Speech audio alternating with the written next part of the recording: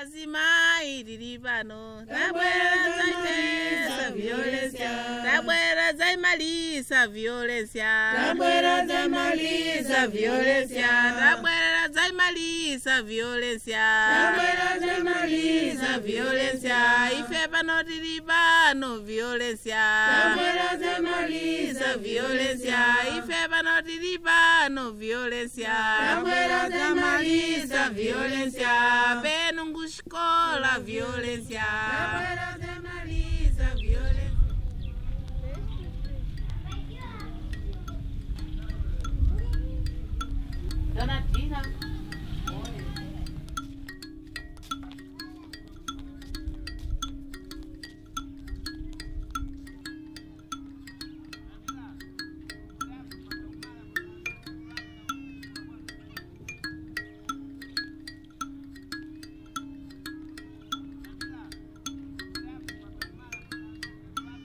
chakuyamba lipandilie kuti ndingakuuzeni kuti ndina ndina basa pano basa ndilibe basa angu ndakulima. Munda ndidapasitoni pano paminyala ne chimanga ndimbachosalimi mithethe lipa ndikhagwata nsasala ndikhalima chimanga chete ndikhasalusa ntsundi yakulawa kuti chimanga chimene ndikhagulisa para kukwanisa kudyesa ana angu mbachideji padati choseramo avale kuti chibwere kuno titumii deji kulibe besulu sana imodzi khamunane yomwembo yandikomera kumtima kwanguku sempero ndikubonera akwai ndabwera kuno kubwera kuno kuta chitefe pano idaoneka kaza kwa baba avada pasa chimanga kwache masaka pemanayo mashano.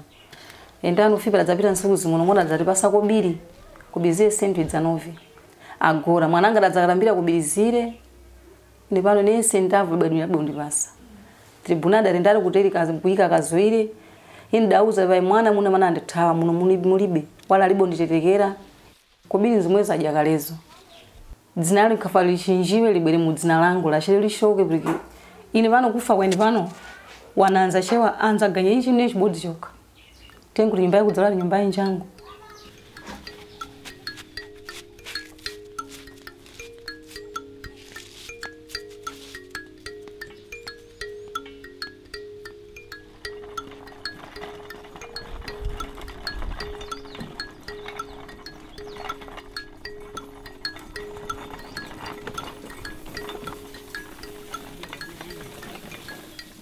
nkhani yakazi kuno kakhala kuti omwana mabanja yawo akamenyana tipa mimwa omwe akapawa kapokuteza nambo imbakhalambo brigambo yakuti mbo unkwanisa kuika zoveri chakuyamba timbayenda kwa makolo kuyenda kauza kuti wanawa apoka tinchitatani machinda dzabva fa libodzi akapemilenda tidayenda nsonkhani nango kusidati kule.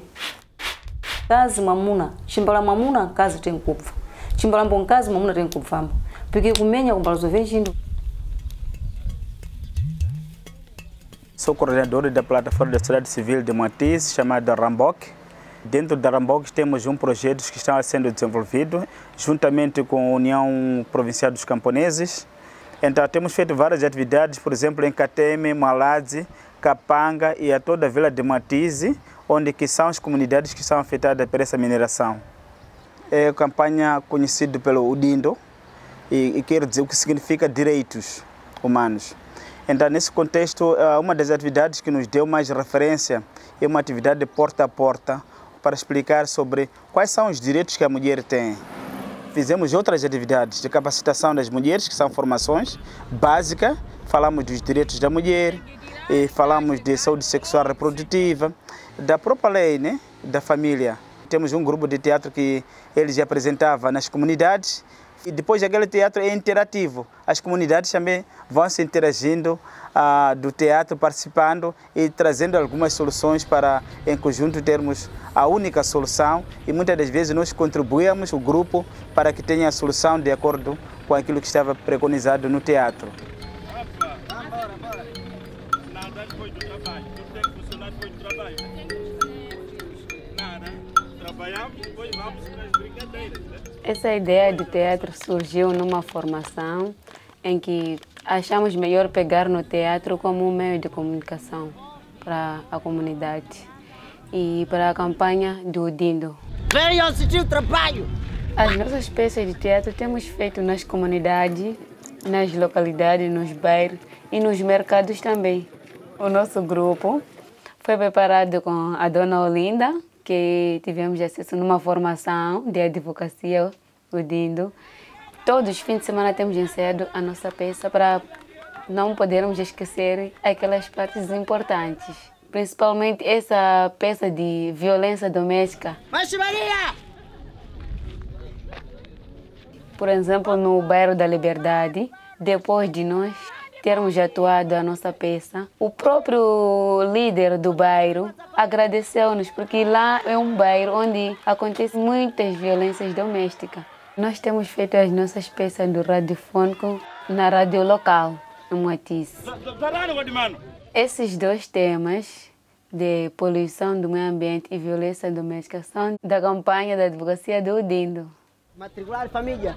Por exemplo, em Moatize, muitas pessoas, principalmente no bairro 4, Bagamoio, muitas pessoas quando estendem farinha, a farinha toda ela fica preta. Por isso, mesmo bebendo nossa água, sai escura, muito preta, suja. Nós, com essa peça teatral, temos dito para as pessoas falarem aquilo que acontece nas suas comunidades, o que lhes afeta.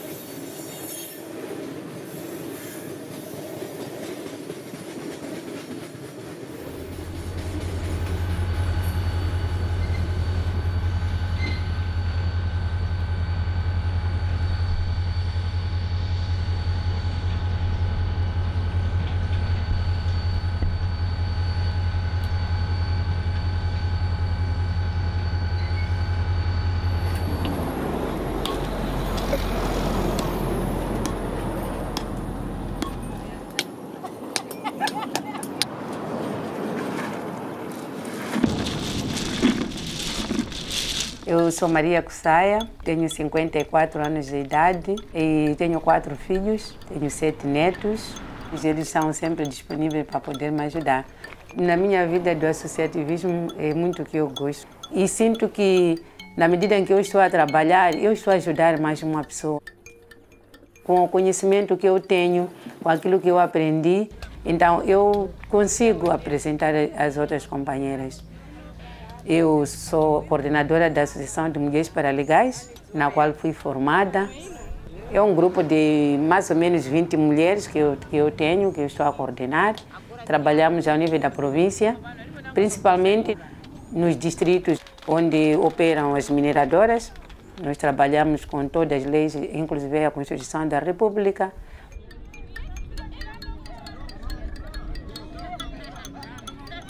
Quanto às capacitações, eu tenho as mulheres que estão na minha organização, digo 99% são todas capacitadas.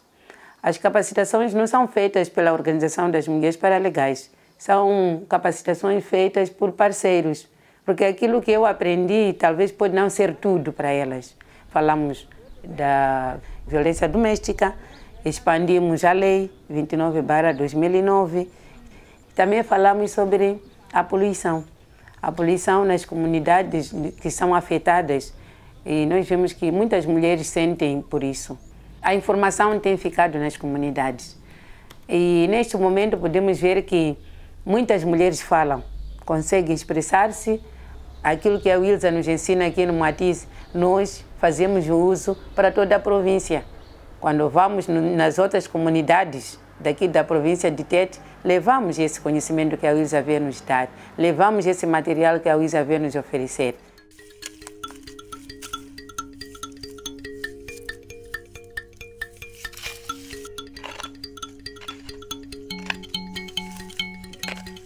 Em Espanga as coisas eram baratas. Água não comprava, iam cortar lenha no mato, mas aqui não. Lenha tem que comprar, água tem que pagar, energia pagar. Antes de ser reassentada, o meu marido acidentou no dia 2 de março. Acabou três anos sem andar. E em 2013 ele recebeu dinheiro de indenização na empresa. E ao mesmo tempo a Vale pagou 119, que é dinheiro de Machamba. O objetivo final que ele tinha quando recebeu aquele dinheiro e com o dinheiro de 119, ele juntou, foi arranjar uma outra mulher. A menina estava na décima, o rapaz estava na décima primeira. Ela conseguiu tirar décima primeira, décima segunda. Quando tirou a décima segunda, veio aqui em casa falou comigo, mamãe, eu quero continuar a estudar. A menina foi joelhar ao pai. E o pai, a resposta foi de que não queria lhe ver na presença dele. E houve inscrição aqui no bairro, onde a secretária veio me falar que a inscrição da Vale. E lá passou esta data, ela está a trabalhar na Vale como operadora. Aqui onde eu vivo, sobrevivo à custa dela. E ela já continuou a estudar, sozinha está a, a custear as despesas. Eu estava a ver que eu não conseguir dinheiro para essa minha filha. Essa minha filha vai casar com, com menos anos. Aqui no bairro há outras também que vivem da mesma vida como eu. A violência aqui é o impacto que está levando a vida de toda mulher. Das nossas capacitações que nós, que nós recebemos, temos também sentadas com outras aqui. Já, algumas já conhecem, já sabem. Já há outros homens que mesmo já estão também a mudar de comportamento mesmo. A mulher de Moatize praticamente é composta por duas populações. Tem população rural e tem a população urbana. O projeto veio para fazer conhecer aquilo que são os seus direitos e o que eles devem exigir naquilo que têm direito. Este projeto eu acho que não poderia só parar naquilo que são as zonas mineradoras. Nós temos muita população dispersa no distrito de Moatize. Aquela formação abrangiu um pouco daquilo que são as instituições que lutam pelos direitos da mulher. Em princípio, todas as direções trabalhavam por si e a informação não convergia. E muitas vezes nós esquecíamos a comunidade. Já começamos a fazer uma coordenação das atividades. Veio aqui uma menor que foi violada. A polícia também teve que intervir, e, e era uma estudante, a escola também interviu. Naquele momento, foi uma das coisas que me, que me pôs muito satisfeita no, no projeto. Trouxe um impacto muito positivo para a instituição que é a nossa escola. Acabamos criando um núcleo de gênero da rapariga. Elas, quando aprendem alguma coisa de gênero relacionada à saúde sexual reprodutiva, elas expandem nos intervalos, expandem nas salas de aula, então, é uma valia para nós, porque a informação não está adormecida. Nós só, como escola, não podemos conseguir trabalhar sozinhos, mas que envolvem parceria. Estamos a falar da saúde, estamos a falar da polícia. Para o nosso desempenho melhorou bastante. Quando há necessidade de se dar uma palestra na escola, nós convidamos a Arambogue, nos unimos a eles. Mesmo na escola, alguma coisa mudou.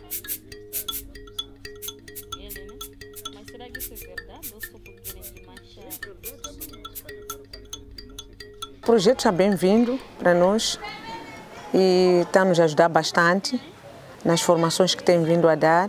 O manual que distribui é muito importante, porque nós levamos também a informação para as comunidades através de palestras e temos também transmitido aos nossos colegas que não têm possibilidade de fazer parte, porque alguns estão nos distritos um pouco distantes.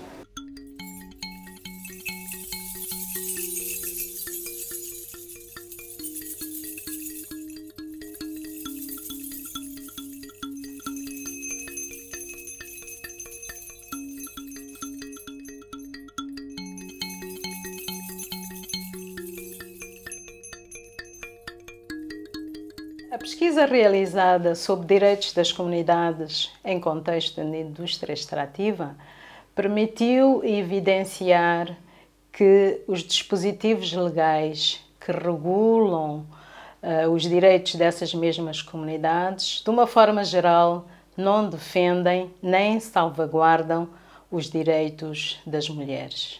Os resultados uh, da pesquisa permitiram que nós desenhássemos os nossos programas de formação, formação que foi realizada a diferentes atores, nomeadamente aos agentes do Estado, do setor da saúde, da educação, da polícia, mas também a representantes das organizações da sociedade civil, sobretudo uh, organizações da sociedade civil que têm defendido os direitos dessas mesmas comunidades e formações também com os líderes comunitários. E o mais importante nestas formações que nós realizamos foi construir esta ideia de direitos que estas populações são sujeitos de direitos. Contribuiu para que, a nível das organizações, não só houvesse um apropriar desses aspectos relativamente à defesa das comunidades, mas que elas próprias pudessem fazer réplicas das formações que nós realizamos. Por vermos esta importância da pesquisa, nós como Oxfam convidamos a Wilsa para o nosso evento do Moçambique Summer School, que é uma iniciativa de formação do setor extrativo que a Oxfam levou a cabo em 2017, que envolveu vários atores, instituições do governo, parlamentares, organizações de sociedade civil, instituições de ensino, para desenvolver as suas capacidades e melhor compreenderem as dinâmicas deste setor. As pesquisas que a Wilsa tem desenvolvido têm nos permitido fazer esta advocacia, esta influência com base em evidências. E não só, tem nos permitido desenvolver pacotes de capacitação, de formação, não só para organizações de sociedade civil, como também para atores uh, locais, falo das próprias mulheres, das próprias comunidades. Essa campanha vamos dar continuidade, não é? Ah, começamos, sentimos que temos que fazer mais. É, é necessário mesmo continuar e trabalharmos nesse processo. De uma forma muito é muito diferente para na basa tishonamba kuti bzimwe bzachitika bzimwe mafulano yale yapara basa yatafirava tichitereriva iyi eu penso que a Wilsa devia ter ou deve ter ainda mais mais mais projetos para nós até que nós digamos muito obrigada já chega